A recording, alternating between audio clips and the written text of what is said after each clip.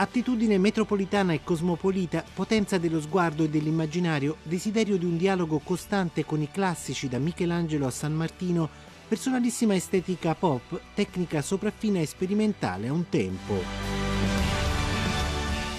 A 34 anni Jacopo Cardillo, in arte Iago, è uno scultore conosciuto e apprezzato in tutto il mondo, tanto da tenere corsi nelle accademie americane come in quelle cinesi.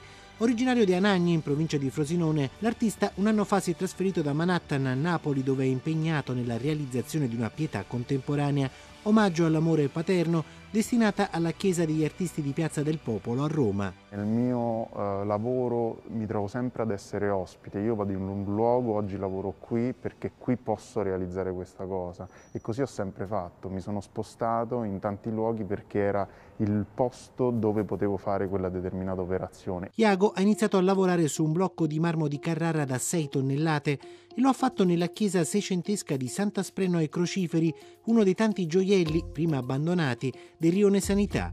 Un laboratorio inconsueto ma non casuale. Il legame dello scultore con il quartiere è profondo, segnato dalla presenza di una delle sue opere dall'impatto più forte, il figlio velato, nella vicina chiesa di San Severo fuori le mura. Una creazione in sofferto dialogo, acceso a distanza di quasi tre secoli, con il Cristo velato di Cappella San Severo che dista da qui poco più di un chilometro. Il Rione Sanità da oltre 15 anni è attraversato da energie positive con una trentina di cooperative e associazioni che stanno rilanciando attraverso la cultura e l'arte il quartiere prima alla ribalta solo per conflitti tra clan di Camorra. Un luogo ricco di fermenti, insomma, in cui Iago si è immerso totalmente. Io mi sento coccolato come, come in famiglia, sai, c'è la preoccupazione di tante signore che io mangi, cioè che io sia eh, in forze, no? Il quartiere è famiglia Uh, e questo è preziosissimo per me perché ti senti a casa, no? E quando ti senti a casa sei molto più disinvolto nelle tue cose. Il valore di quello che faccio immancabilmente è il riflesso anche del valore che no, percepisco e che mi accompagna. Sono assorbito dal quartiere, quindi e questo anche, gioca anche favorevolmente al mio procedere. Sai, siamo sempre condizionati da quello che ci circonda in tutte le cose che facciamo.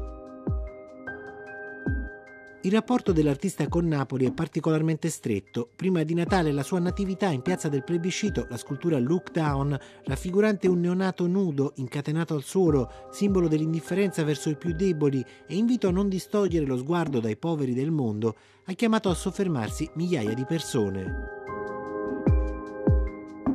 Il suo lavoro, nonostante la partenza una volta ultimata della Pietà, lascerà una traccia molto concreta. La chiesa studio di Santa Spreno diventerà infatti un museo con diverse sue straordinarie opere. Intanto avere a disposizione una chiesa barocca ancora consacrata come studio fa, fa l'effetto di eh, metterti nella condizione di dover in qualche modo stare in comunicazione con questa bellezza, no? che è un, una spinta per andare avanti e per cercare di dare sempre il meglio.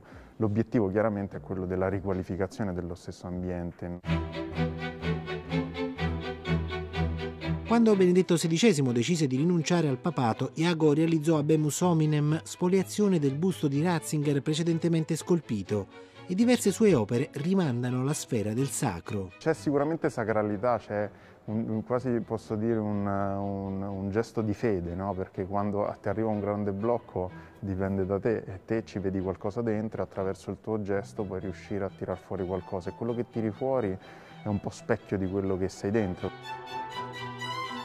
Memoria di sé, muscolo minerale, la Venere senile sono tanti esempi di una declinazione ispirata di moderno umanesimo, espressione di un artista pienamente calato nel suo tempo, scultore ma anche esperto comunicatore sui social, strumento prezioso per rendere il pubblico partecipe del momento creativo un momento che si nutre sempre dell'irrisolto. Se avessi già l'idea perfetta di quello che sto facendo, anche a livello di significato concettuale, se vogliamo dire, forse non lo farei perché l'avrei risolto nella mia testa.